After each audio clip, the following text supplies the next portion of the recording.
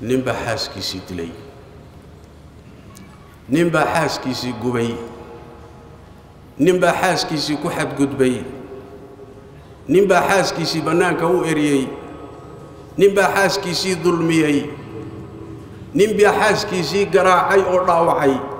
Ninbaa xaaskiisii jabiyey walcagsu saxiix.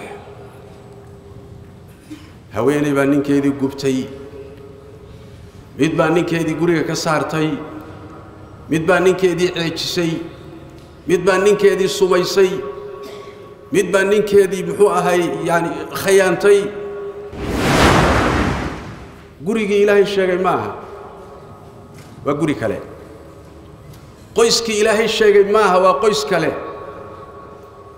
Qoyska ilaahay sheegay qur'aanka iyo sunnadu tilmaameen kaa hore wey qoysku waa xasil qoysku waa meel lagu nasto.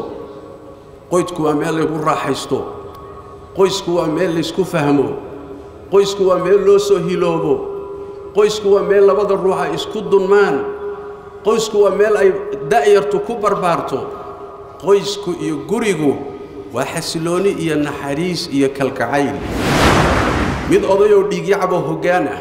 Magiciisa marka la soo qaadana dagaal baan wada gelaynaa waa xanaaqaynaa. Maxaa ninkanaga laga rabaa magac reer marka la sheegana cirkaasaan wada marinaynaa dhiiggaa inugu karaya.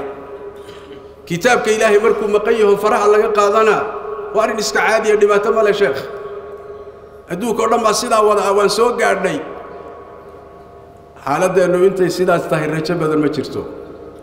Xaaladeennuna way ka sii dari.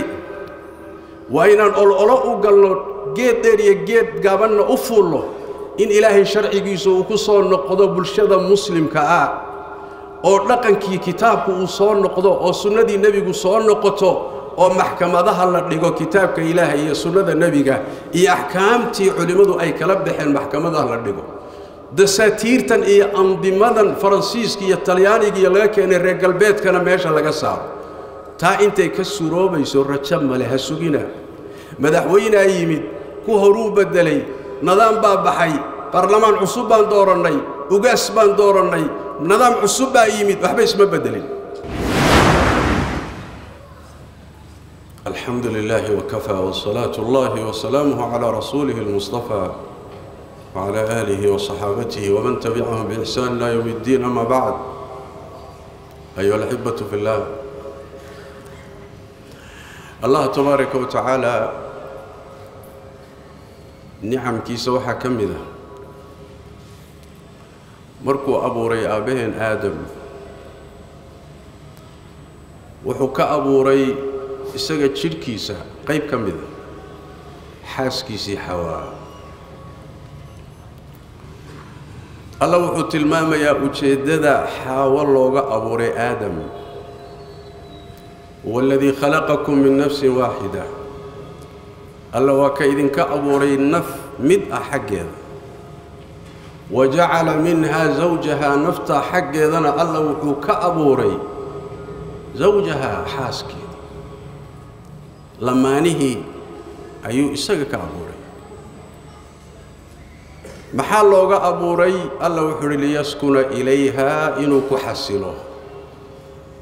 Cilladu wataa inay isku xasilaan oo isku degaan oo isweheshadaan oo ay isku liibaanaan oo inan kala didin. Haddii labadooda midkood uu noqon lahaa jinsi kale nooc kale oo makhluuqaadka ka mid ah ama xaawa ama aadam jin laga dhigi lahaa ama in laga dhigi lahaa xayawaanaadka kale laga dhigi lahaa ma suurto gasheen inay isweheshadaan oo isku xasilaan. Haddii si gooniya loo abuuri lahaa xaawo oo aan jidhkiisa laga abuureenna nufro iyo kala didid baa mar walba dhexdooda ooli lahayd. Laakiin xikmadda rabbi tabaaraka wa tacaala waxa weye jidhkaagu isma naco jidhkaagu ma kala boodo. Jidhkaagu isma dilo. Jidhkaagu waa isjeceliyo waa isweheshadaa jidhkaagu waa isku mido waa isku duuban yahay. Jidhkaagii baa laga abuuray liyaskuna ilayha si uusu ugu xasilo. Waa ilaahay nicmadiisa dhammaystirkeeday ka mid tahay. Saas daraaddeed baa allah tabaaraka wa tacaala aayaadka iyo calaamaadka ku tusaya qudradiisa iyo awooddiisa waxaa ka mida nicamkiisana ka mida inuu rabbi tabaaraka wa tacaala aadamaha xaasaskii iyo raggiiba labadii nolosha wadaagaysay inuu ilaahay isku jinsi ka dhigay say isugu xasilaan. Allah tabaaraka wa tacaala wuxuu yidhi wa min aayaatihi.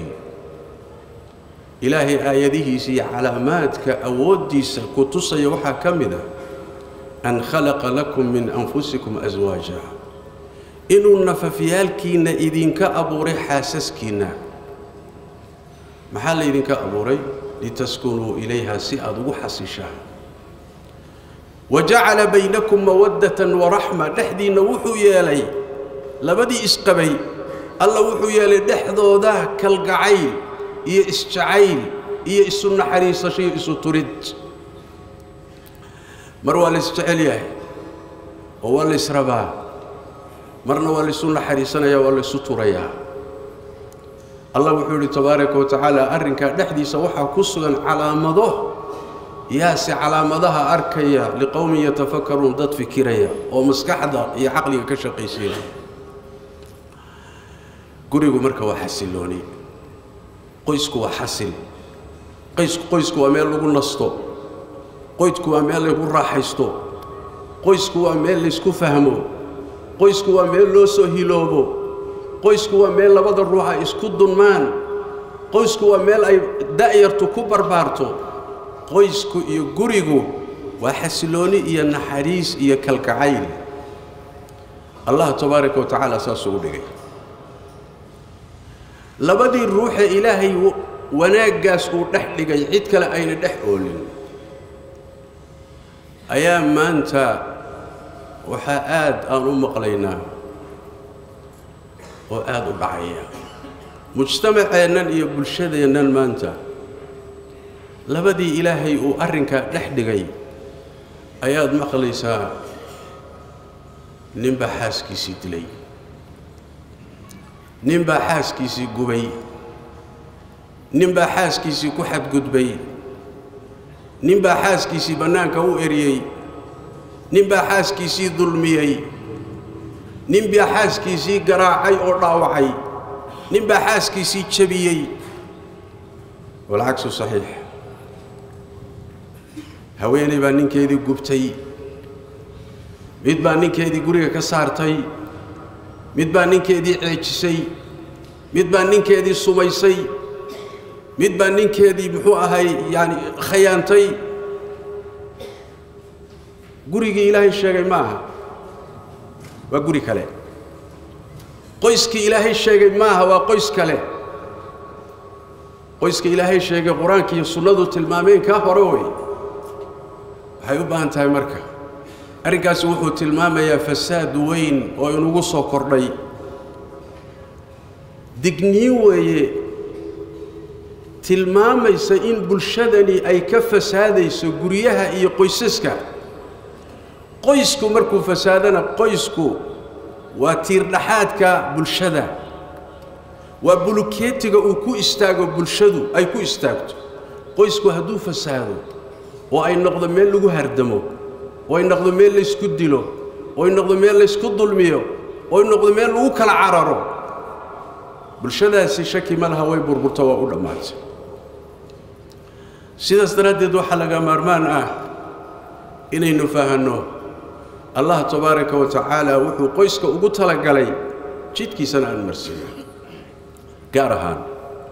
Dulmigu wuxuu ku badan yahay dumarka leanna way tabar yar yihiin waa ducafo tabaryarida ay tabar yar yihiin baa mar badan la dulminayaa oo raggu ay dulminayaan oo ay ku xadgudbayaan allah qur'aanka kariimka wuxuu inagu yidhi inugu amray wacaashiruuhunna bilmacruuf dumarka si wanaagsan ula dhaqma hadal wanaagsan kula dhaqma dhaqan iyo akhlaaq wanaagsan kula dhaqma wanaajiya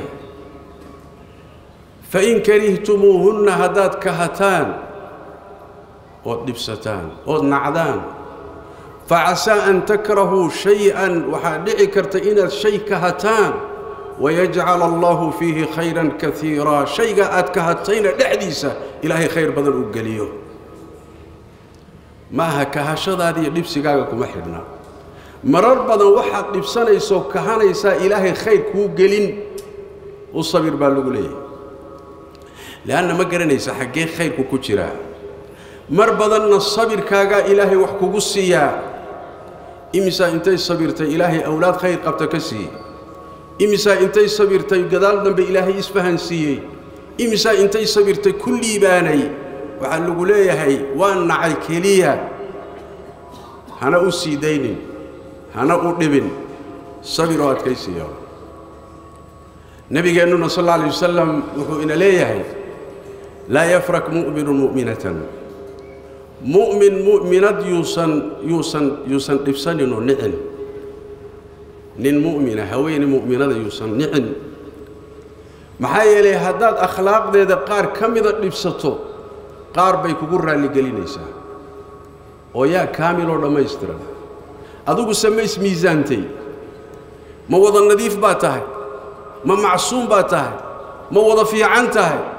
imisaad khalad gelaysaa imisaa dhib kugu jira imisaa dabeecad xumo kugu jirta imisaa bakhaylnimo kugu jirta imisaa dulmi kugu jira. Dulqaado adiga waa lagu dulqaadanaya nebigeennu sal alay wasalam wuxuu sii tilmaamay dabeecadda dumarka lala mucaamaloonayo saxiixaynka iyo xadiidka ku yimid. Nebigu wuxuu yidhi sal alay wasalam dumarka khayr isu dardaarma oo wanaag kula dhaqma maxaa yeelay haweenayda waxaa laga abuuray feedh. Aadam feedhiisa waa mid xadii qur'aanku uu si caama u sheegay. Axaadiista nebigaa tafsiilisay. Soo qur'aanku muuna dhihin meelo fara badan xaawo waxaa laga abuuray aadam. Axaadiista nebigu waxay sharaxday oo caddaysay xubinka laga abuuray iyo meesha xaawo laga abuuray jidhka aadam. Nebigu wuxuu yidhi sal alla alay waslam feedha aadam baa laga abuuray feedhuhu waa kala duwan yihiine feedha u sarraysa ee feedh calaanta la yidhaahdo ee ugu qallooc badan baa laga abuuray buu nebigu yidhi sal alla alayh wasalam feedhaa ilaahay uu qalloocaba ku abuuray. Haddaad isku dayda inaad toosiso waad jebin buu nebigu sal alla alay wasalam haddaad sideeda u daysana qallooc dayn mayso. Riwaayada saxiixu muslimku waxay leedahay dariiq kuugu toosi mayso ji toosan ugu soo hagaagi maysid. Haddaad intifaacsanaysana waxaad intifaacsan ayadoo qalloocsan. Haddii kale toosi aad istaanada kuu toosi mayso way jabi jabniinkuna waa furitaan buu nebigu yuhi sal alla alay wasalam marka laba mid ama u sabir ama ka sabir. Laa aalita lahumaa. Ya ama sabir oo u sabir ama ka sabir. Macnahaasaa nebigeennu tilmaamaya salawaatu rabbi wasalaamu calayh. Sidaas daraaddeed baa waxay tahay in dumarka dhaqan wanaagsan lagula dhaqmo. Nebigeenna dardaarankiisii xajatulwadaac waxaa ka mid ahaa uu ummadda u dardaarmay istawsuu biاnnisaa'i khayran fainahunna cawaanin cindakum. War dumarka khayr iyo wanaag isuu dardaarma maxaa yeelay waa asiiraad. Idinkay idiin qafaala yihiin. Gurigay kuu joogtaa. Ilmihii bay kuu korinaysaa. Gogoshaadii bay diyaarinaysaa. Jikaday kuugu jirtaa. Iyadii baa isu kaa diyaarinaysaa. Hawshaadii bay ku mashquulsan tahay. Aday kuu xidhan tahay oo meesha kuugu jirtaayoo qafaal kuu tahay. Fa innahunna asiiraatin cindakum allah baa idiin leyliyey kaama mudna marka inaad disho. Kaama mudna inaad gubto. Kaama mudna inaad ku xadgudubto. Kaama mudna inaad hadal xun ku tidhaahdo. Kaama mudna inaad muxuu ahay aad dhaqanka ku xumayso. Wanaag.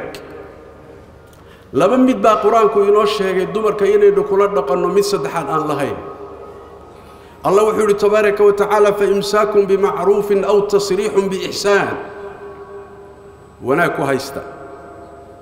Haddaydaan wanaag ku haysanaynin oo dulqaadkeedii aydan lahaynna si wanaagsan ku sii daaya. Labadaa wey hayso haddaad haysanayso dhaqan wanaagsan ku hayso. Waad hayn weyday soo maaha ha nibin ha dhibin si wanaagsan oo akhyaarnimaha ku siidaa markaa kadib adigana hortaada ilaahay khayr ha dhigo. Iyadana horteeda khayr alla ha dhigo. Wain yatafaraqa yugni illaahu kulla min sacatihi wa kaana allahu caliiman xakiima hadday kala tagaan labadii wada joogay mid walba ilaahay baa deeqaya. Mid walba ilaahay baa deeqaya. Haddaad sabri weydo wareegaysigaagaa badanaya tan tijaabi waxbaad ku aragtay ka dhaqaq tu kale tijaabi. Ayadana waad fahmi weyda ka dhaqaq tu saddexaad tijaabi. Noloshaada tijaabo unbaad ku jiri. Markaasaa waxaad isu keeni labaatan ilmood oo kale hooye ah. Adigiina kadeedantay oo saldhigi weyday. Le'anna waxaad raadinayso adduunka maba joogaba. Adeer aakharo u shaqayso.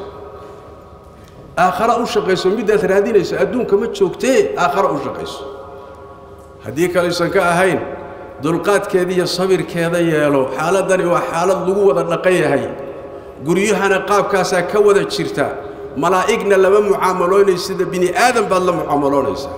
Waxay u baahanta marka inaad sabirkeeda iyo dulqaadkeeda yeelato. Way ku anfici weyday soo maaha? Ha dhibin. Ha dilin. Ha ku xadgudbin. Ha dhaawicin. Tartiib isaga sii daa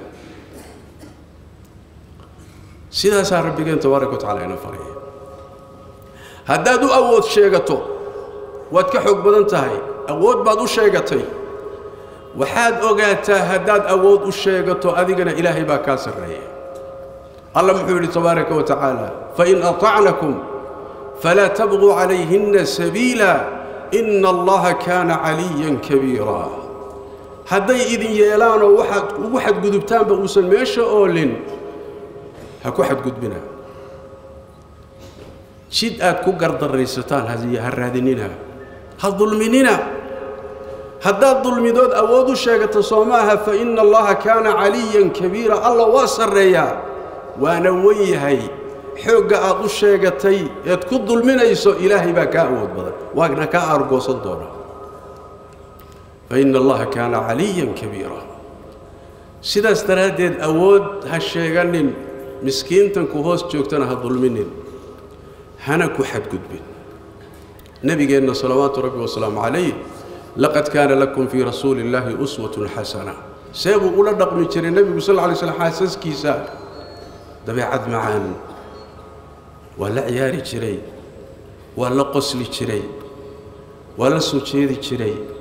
Habeenkii markuu yimaado guri guryihiisa ka mida uu joogo kuwa kalea imaan jireen way la wada cashayn jireen markaasay mid walba gurigeeda aadi jirtay tuu la baryaya habeenkaasuu nebigu la joogi jiray sal habeennada qaarkood. Wuu la orotami jiray waa nebi moxamed salawaatu rabbi wasalam bini aadan caadiya ma aha waa nebi moxamed sal alay wasalam haddana maca daalika waa la ciyaari jiray marmarka qaarkood. Waxaa in badanoo innaga inaga mid ah aan inaga suuroobin. Caaisha waxay leedahay kamaa fi saxiix. Nebiga sal alay wasalam baan la orotamay intaan fududaa oo hilibka aanan qaadin oonan cuslaanin ayaan nebiga la orotamay markaasaan ka orodbadiyey markii hilibku ifuulay oon cuslaaday kadib buu haddana ila orotamay soo bax buu yidhi caaisha waan orotamaynaa waa ila orotamay markaasuu iga badiyey bay tiri markaasaa nebigu wuxuu uhi sal alla alay wasalam haadihi bitilka. Caaishay ma xusuusataa waa inaad iga orod badisay. Middan iyo tii isu tuur buu yidhi garbadhac baanu nahay mar baad iga badisay anna mar baan kaa reeyey yaa waaye nebi moxamed salawaatu rabbi wasalaamu calayh khayru khalqi illaah miisaanku waa kaa bal nebigeennu salawaatu rabbi wasalaamu calayh wuxuu leeyahay ragga akhyaarnimadooda miisaanka lagu garto waxa weeye waa inta uu reerkiisa uu u yahay akhyaar u yahay. Khayrukum khayrukum liahlihi wa ana khayrukum liahlihi buu nebi sal alay wasalam ka idinku akhyaarsan waa ka midka ugu akhyaarsan ehelkiisa aniguna waxaan ahay dumarkayga midka ugu akhyaarsan baan ahay buu nebigu xadiir salawaatu rabbi wasalaamu calayh. Sidaas daraaddeed ma aha guryaheennu inay isu beddelaan meel laysku laayo meel laysku dilo meel dhiig lagu daadiyo meel laysku gubo meel dhibaata ka dhacdo guryaheennu inay noqdaan ma aha. Wanaag xasillooni isjacayl kalgacayl isu turid naxariisasho haddii la waayo soo ah ha laysu sabro haddii la waayo soo ma ah tartiib ha loo kala tago. Wax ka dhexeeya ma leh. Dumarkana sidoo kale hadday ninka u sabri weydo oy u dulqaadan weydo oy la noolaan weydo inay gubto ma aha inay disho ma aha inay ceejiso ma aha inay ku xadgudubto ma aha inay guriga ka erida ma aha waxa weeyaan yaa imaa inay sabirto oy dulqaadato noloshaasi laysugu dulqaato yaa imaa inay furitaan codsato. Nebigeenna sala allahu calayhi waaalihi wasalam waxaa u timid ninka la yidhaahdo haabit xaaskiisa. Markaasaa waxay tidhi rasuulka ilaahay ow ninkayga haabit diinna kuma kahanayo akhlaaqna kuma kahanayo diin ku ceebayn maayo. Akhlaaqna ku ceebayn maayo. Laakiin lama noolaan karo ma awoodi karo. Riwaayo kale waxay leedahay kufri baan ka baqay. Yacni waxa weeyaan xaqii ugu lahaa inaan ilaalin waayaan ka baqay. Sidaas daraaddeed lama noolaan karo. Haabit wax kastoo uu yahay ma la noolaan karo rasuulka ilaahay. Nebigu ma dhihin sal alla alay wasalam ilaa wa ilaaba la joog calaa raqmi anfiki ilaa wa ilaaba hoos joog adoo kahanaya ma dhihin nebigu sal alay wasalam wuxuu yidhi beertii hadda ka hor uu ku siiyey ma u soo celinaysaa? Waxay tidhi haa soo celi beertii. Beertii bay soo celisay. Kadibna nebigu amar wuxuu ku siiyey haabit fur buu ku yidhi siidaa gabadha. Jidkaasaa u furan. Hadday la noolaan weydo oy furitaan ka codsato oo uu diido markaa waxaa soo faragelinaya maxaakiimta sharciga ah. Waa inay maxkamaddu markaasi ka hor ehelka haddii xal markaasi dhexdooda uu suuroobi waayo gabadhuna ninka la noolaan weydo ma aha inuu wakhtiga ka lumiyo.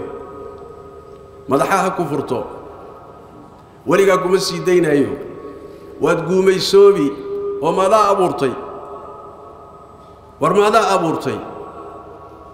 Ma addoon bay kuu tahay ma aha haddii aad hay hay kari weydo ama ay kula joogi kari weydo kuu sabri kari weydo fa imsaakun bimacruufin aw tasriixun biixsaan iyadana sidoo kale laakiin ma jirto taariikhda muslimiinta cusuurtii hore lama hayo sheekooyinkan maanta dhexdeenna yaalla ee haweeney baa ninkeedii dishay iyo ninbaa xaaskiisii gubay warkani war jire ma aha warkani wuxuu tilmaamayaa fasaad weyn iyo fitno ina dhex taalla oo sii xoogaysanaysay tilmaamaysaa arrinkaasi xal buu u baahanye guryaha in la islaaxiyo u baahanye dadka intayna guur gaadhin tarbiyo wanaagsan wiilasha iyo gabdhaha in la tarbiyay u baahan yahe guryaha diin ilaahay in lagu aasaasoo lagu dhisay u baahan yahe goortii khilaaf yimaado sidii shareecadu ugu talagashay in lagu xalliyay u baahan tahay. Dhexdooda hadday xallin waayaanna fabcatuu xakaman min ahlihi wa xakaman min ahliha garsoorayaal labada qoys ka socda labada dhinac saara khilaafkan ha xalliyeen qoyska u dhaxeeya yuriidaa islaaxan yuwafiq illaahu baynahumaa hadday xal waayaan xalku markaasi wuxuu noqonaya iyadoo la fayow yahay oon laysdhibin oon laysdilin oon dhibaata imaanin markaasi waxa weeye in laysa sii daayo haddii sidaasi lagu kala tagana mid walba hortiisaa ilaahay khayr dhigaya. Wain yatafaraqa yuqni illaahu kulla min sacatihi ilaahay baa hortiisa khayr dhigaya mid walba. Laakiin ma jiro jid ay shareecadu fasaxday ama caqligaba keeni kara oo in laysku xadgudbaa xalka ugu dambeeya arrintaa keeni kara waxa waaye in lagu xallin karayo ayna tahay in ay muslimiintu dowladahoodii andimadooda in la qaato waxa weeyaan gacan ku dhiiglaha kas wax u dilay. Waa in la dilo. Dadkii iska lahaa awliyaa'u dam ahaa dhiiggan dadkii awliyadiisa ahaa waa in loo gacangeliyo khiyaar waa in la siiyo. Ma laydiin dilaa ma laydiin qisaasaa? Mise waad cafinaysaanoo mag baad ka qaadanaysaa? Mise magta xataa waad iska cafinaysaan saddexdaba way leeyihiin saddexdaba khiyaar bay u leeyihiin. Waa inuu gacantooda uu galo hadduu og yahay gacanku dhiigluhu dadkii uu dhiigga ka galay inuu gacantooda geli doono ama la qisaasi doono ninna dhiiggiisa kama tillaabsadee dilku waa yaraanaya waana midda rabbigeen ina leeyahay walakum fi lqisaasi xayaatun yaa uli lalbaab inta caqliga fayowlahay wax garanayo kaan wax garanaynin lalama hadlayo calmaaniga lalama hadlayo. Diinlaawaha lalama hadlayo. Midka gaaladu maskaxdiisa ay wax ku soo shubtay lalama hadlayo. Munaafiqa lalama hadlayo. Ka diinta ilaahay ka leexdaya moodaya inayna xal haynin lalama hadlayo. Yaa lala hadlaya walakum fi lqisaasi xayaatun yaa uli lalbaab inta garashada leh. Intiina garashada leh buu alla leeyahay. Qisaasta kii wax dilay in la dilo nolol baa idinku sugan. Intiinna hadhay baa noolaanaya dilkii baa yaraanaya. Ruuxii waa baqayaa. Hadduu og yahay in isagana la saari doono tiirka lagu xidhi doono la dili doono gacantiisu intuusan qaadin in badan buu xisaabtamaya. Laakiin hadduu og yahay inuu fakan doono oo qabiil xagga shishe ka mari doono oo ilmaadeeradii difaaci doonaan oo uu naftiisu fakan doonto intaasoo naf buu dili maantana wuu dili berrina wuu dili saa dambena wuu dili meeshuu ku arkana wuu dili kadibna maxaa dhalanaya fitan? Intaasoo dhiig baa daadanaya. Ummaddii kharribantay nabadgelyadii faraha ka baxday la burbur maxaa ka dhashay? Halkaasay ka timid. Walakum fi lqisaasi xayaatun yaa uli lalbaab waa in la qisaaso oo intii uu maray la mariyo. Sidaasaa marka ummaddu ku kala badbaadi.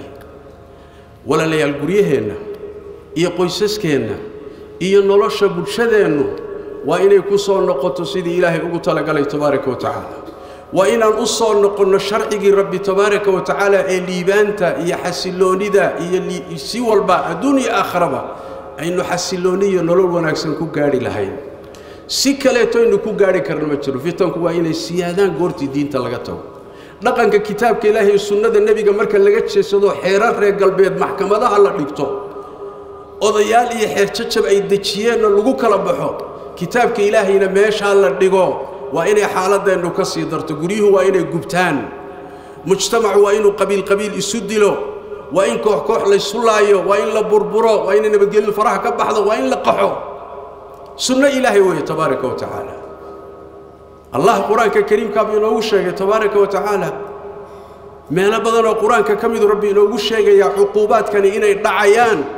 Goorta kitaabka ilaahay ee dhaqankiisa iyo xukunkiisa laga jeedsado qabyaalad markii reer la sheego dhegtaan wada taagayna.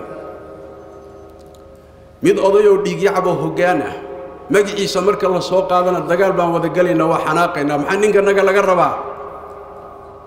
Magac reer marka la sheegana cirkaasaan wada marinaynaa dhiiggaa inugu karaya.